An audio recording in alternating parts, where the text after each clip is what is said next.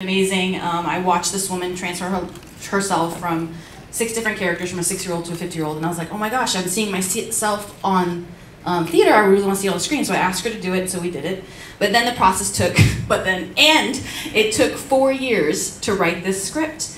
And um, after that, it was actually really important, as you speak more about it, like uh, in 2016, Trump was elected, and we thought it was really important to kind of include that as a, as a background of what we as Muslims go through every day in our lives. And so by that time, it was like 2016, 17 when he was elected, and um, we finalized the film um, script, and they were able to shoot. So we shot, then we ran out of money, and then we raised money, shot again, edited for a year, shot again, edited for a year. Then COVID hit, edited for another year, and here we are. Hooray!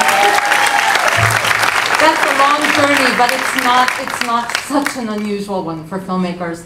So I need to know, Aizzah, who, who has the biggest lady balls here? I think I do.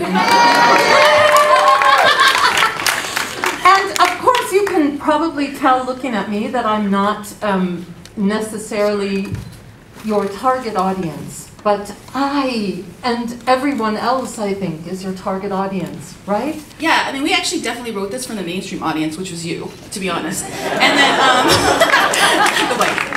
But um, I've actually been extremely surprised by the feedback from obviously our own communities. Um, usually, our own communities don't enjoy our stuff when we do it, so this has been really great because it's it's impacted so many. Um, people from around, no matter what ethnic background they are. So it's been really great because they can see themselves on screen no matter what, because everybody wants love, life, and career. And they can laugh.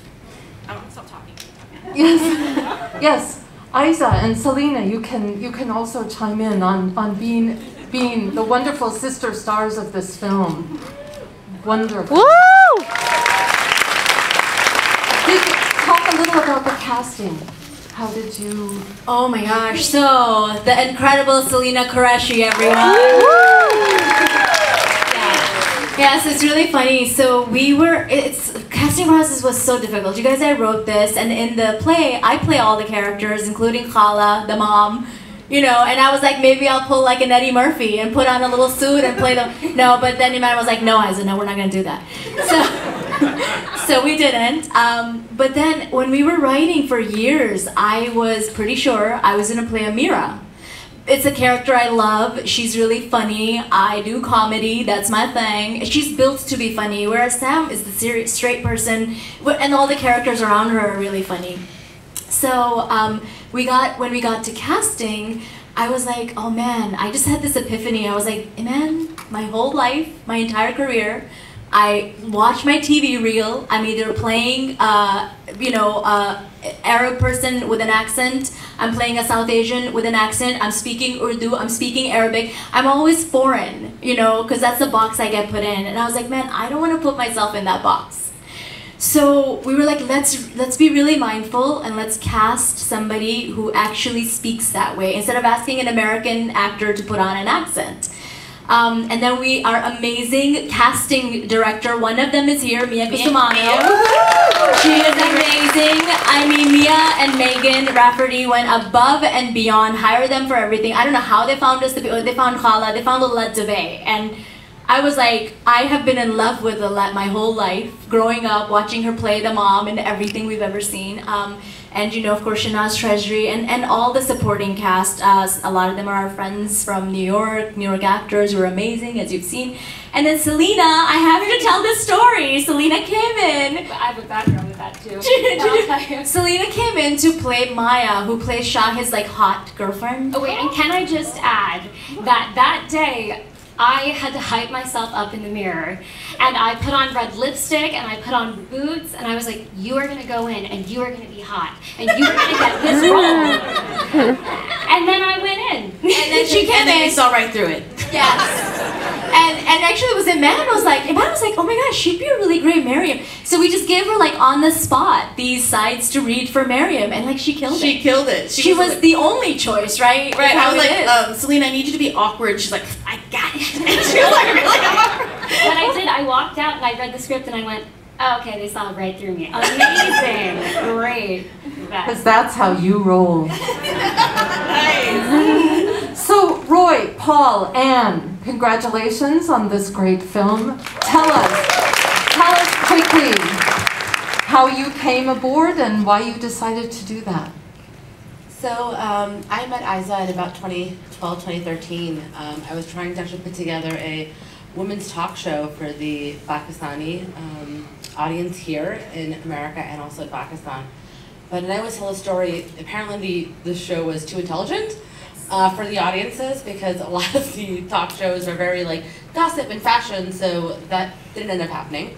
But I also went and saw Aizzah perform her play and had just loved it and always been following it.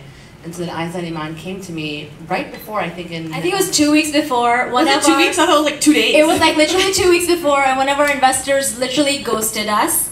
And then we were like, oh my gosh, that was our biggest investor. We have to start filming in two more weeks. And we're like, who do I know? Who do I know? And I was like, I know Ann. I know Ann's interested in film. Yeah, we were so lucky she came. And then Ann was like, she read the script. She's like, yeah, let's do it. And I'm like, I know what? And, and she And then she the just film. pulled the strings every single day. Like she's Yeah, literally the exe- best executive producer of life. Yeah. Just bringing it through.